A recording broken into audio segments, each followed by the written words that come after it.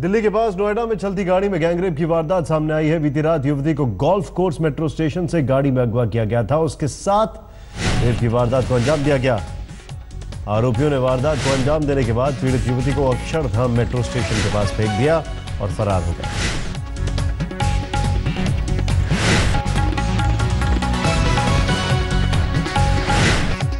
इस पूरी घटना में सबसे गौर करने वाली बात यह है कि जिस तरीके से घटनाक्रम हुआ, सवाल खड़ा यह होता है कि आखिर कैसे पुलिस की नज़रों से यह मामला बचा रहा कैसे संभव है कि पुलिस ने कुछ भी नहीं देखा?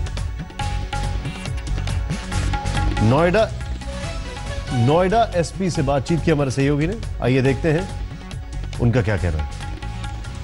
नोएडा के सेक्टर उनतालीस में गैंगरेप का मामला सामने आया। हमारे साथ नोएडा के एसपी अरुण जी हैं, उनसे बात करते हैं। सर, क्या है ये पूरा मामला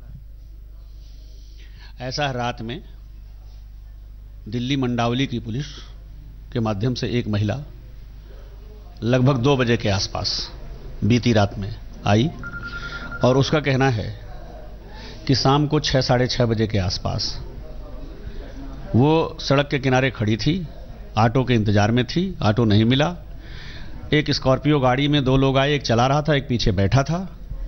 उसने उससे सेक्टर 18 19 जाने का रास्ता पूछा और पीछे वाले ने उसे गाड़ी में बैठा लिया। उसके बाद वो उसे घुमाते रहे घुमाते रहे और ले जाकर के उन्होंने उसे अक्षरधाम छोड़ दिया, जहाँ उसने फ़ोन किया।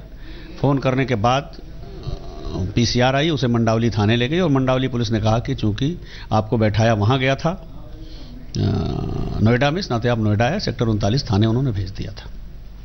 सेक्टर उनतालीस थाने पर उनकी तहरीर के आधार पर मुकदमा लिख लिया गया है। महिला ने मेडिकल कराने से मना कर दिया। हमारे जो पुलिसकर्मी लेके गए थे, उन्होंने उसे घर जाने दिया। लेकिन दोबारा अभी बताया गया कि जाकर के महिला को लिख के देना पड़ेगा अगर वो मेडिकल नहीं कराना चाहती है तो। दूसरा एक संदेहास्पद स्थिति यह है कि उनके मोबाइल में कुछ मैसेज थे। महिला होने के नाते उन्होंने ज़बरदस्ती एक तरह से पुलिस कर्मियों से कि मेरा मोबाइल है, मेरी प्राइवेसी ऐसा ना करें। और हमारे जो उस समय एसएसआई थे, वो महिला होने के नाते एक दबाव में आया और उसका फ़ोन दे दिया। जब मुकदमा लिख गया तो फिर प्राइवेसी नाम की कोई चीज़ नहीं होनी चाहिए थी। वो इन्वेस्टिगेशन का पार्ट है। हम उसकी भी सारे तथ्य खंगाल रहे हैं।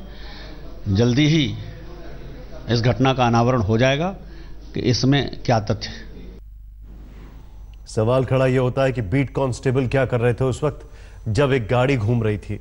दूसरा सवाल यह खड़ा होता है कि क्या यूपी में क्राइम कम हुआ है? नोएडा से सटा गाजियाबाद है। गाजियाबाद में नर्स के साथ पहले लूटपाट, फिर गैंगरेप की घटना में पुलिस महकमे में हड़कम मच गया है। कल रात सिहानी गेट थाने इलाके में दो युवकों ने निजी अस्पताल में काम करने वाली नर्स के साथ लूटपाट की। इसके बाद उसके साथ बलात्कार को अंजाम दिया। नर्स का मेडिकल कराने पर गैंगरेप की पुष्टि हुई है। पुलिस ने मामला दर्ज कर युवकों को पकड़ने के लिए टीमें गठित कर दी है।